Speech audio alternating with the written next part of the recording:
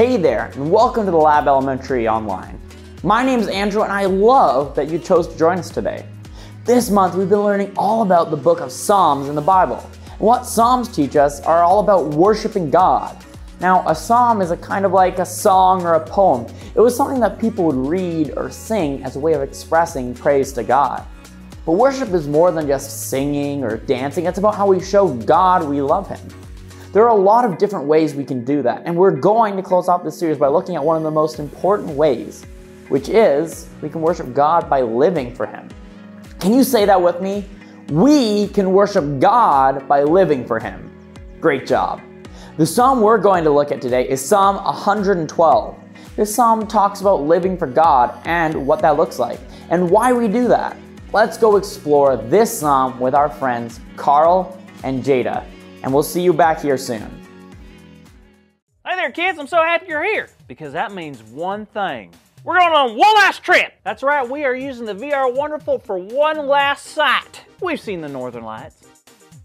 We have scoured Mount Everest. We have explored the Grand Canyon, but today we're going to one place that I never even knew existed. We're going down under. A place called the Great Barrier Reef. I heard it's underwater, so I brought my snorkel, y'all. Y'all ready to get started? Ha, me too. Let's go. Yeah. Oh, ah, ah. Holy moly, this is probably the most beautiful place I've ever seen. I mean, how cool is it that God created all of this? Every fish, every plant, every drop of water, every grain of sand. Wow! Wow, what?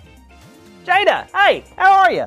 I'm great. Super excited to hear about what you thought of the Great Barrier Reef. Oh, it was, uh, wait, how'd you know where I went? Oh, sorry, I figured it was obvious. Obvious? Obvious how? I mean, we've been talking about the world's most wonderful and natural wonders. The Great Barrier Reef stands out as one of the best. Oh, you're also wearing a snorkel and goggles. Oh, yeah. Anyways, it was super cool. I actually think I'm going to visit there.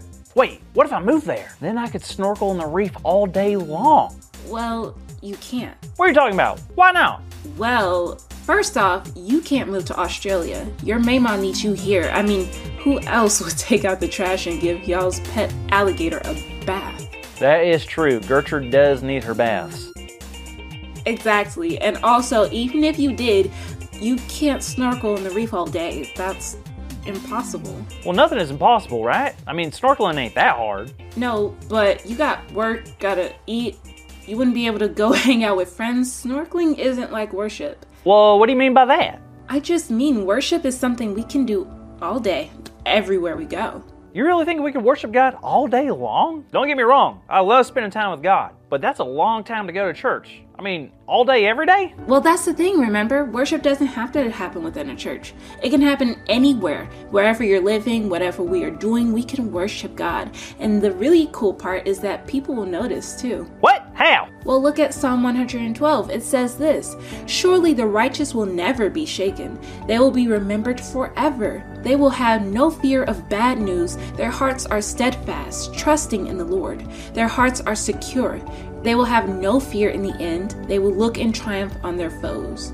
They have freely scattered their gifts to the poor. Their righteousness endures forever. Their horn will be lifted high in honor. Was I talking about people who follow God? It sure was. I mean, someone can tell by just the way I live that I follow God? That's what the Bible says. How is that possible? Well, think about it. You know how I was able to guess you had seen the Great Barrier Reef? Yeah. Well, I was able to do that because of the snorkel and goggles you were wearing. So it's kind of like our lives. If we love and follow God, our lives will show that through the way we talk, the way we act, and the way we treat other people. I guess I never thought about it like that. But helping others, using respectful words, being kind, how's that worship? Well, it's not worship if we're just doing these things because we feel like we have to. Right. But I'm sorry. Don't we worship because God wants us to worship?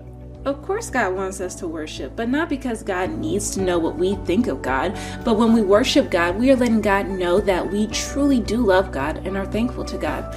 But it's not enough to just sing songs and talk to God. God knows that we mean the things we say to God when we follow it up with the things we do. So, to tell God thank you for forgiving all of our sins, everything bad we've ever done or will ever do, for sending us Jesus and always being with us, I can. Live for God. It's got to be done by how we live our life. Wow! I mean, that's like a lot of responsibility. It's a big job, but God knows we can do it. Yeah, maybe you're right. So, what do I do? Well, the best thing is to stay connected. Like, charge my phone?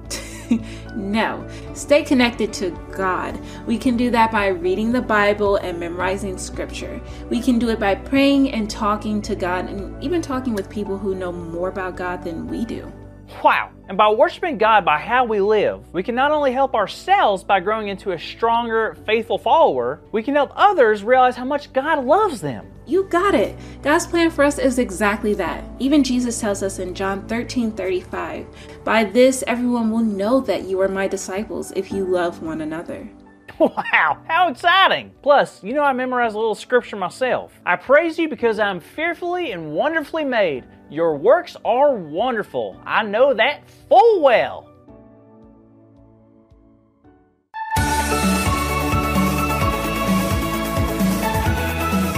Well, hello there. It's time for our great big idea, which is we can worship by living for God. So let's shout it out loud on the count of three. Ready? One, two, three.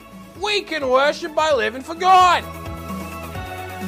Great job. Okay, I'm going to stop with the accent. But seriously, I've had an absolute blast learning with you kids about some of Earth's most natural wonders. But it looks like I got to get out of here, so I'm going to hop on a kangaroo and I'll see you next time, all right? Bye.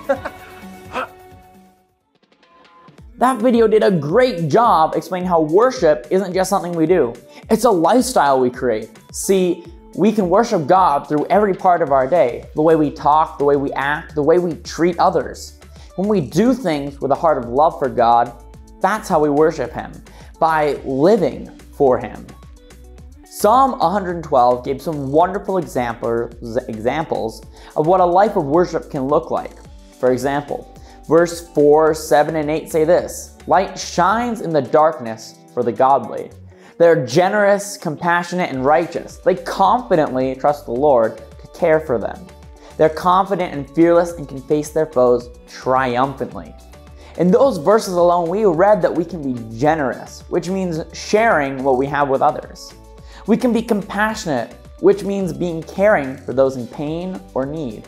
We can be fearless, meaning we know God is with us, so we don't need to be afraid. And we can live righteously, which means living in a way that is right in God's eyes.